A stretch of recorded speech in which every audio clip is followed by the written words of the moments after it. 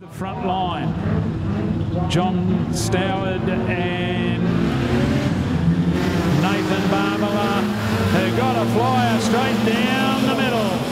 Thank you very much. Josie Thompson tries to keep him out wide and she's successful in doing so. Don't overdo it, Josie. Manages to keep it heading in the right direction. There's a real scrap for position number two. Jared Carno's in there. It's elbows out a little bit with Nathan Barbala. Back then we go to car number 64, and that's John Stoward back in position number four. Gap back to Cherie Barron as they go round the western corner, down the back chute and underneath the pit gates. It's still Josie Thompson to the better of Jared Icano. Back then we go to Nathan Barbala and catching up very quickly in car 64 would be John Stoward as uh, Nathan Barbala hangs the tail out a little bit that time around the western corner. Washes off the pace a little bit. Icano's up very high on the, towards the fence as well.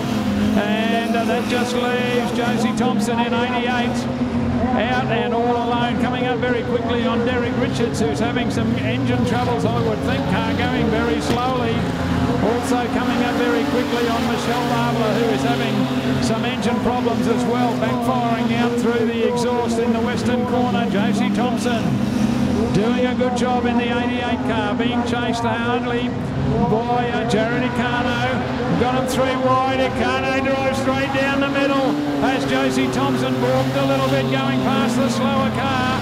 And uh, Jared Icano goes straight into the race lead, into the western corner. He's going and starting to move away from Josie Thompson, who's now got her hands full with Nathan Barbala, wanting something better than position number three. Another one down on the journey as they go underneath the control tower. Two laps remaining in the event. And uh, Jared Icano making every post a winner in the car 21. Good battle.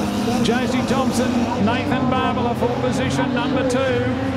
Back then we go to uh, dropped out of the contention a little bit. White flag, one to go.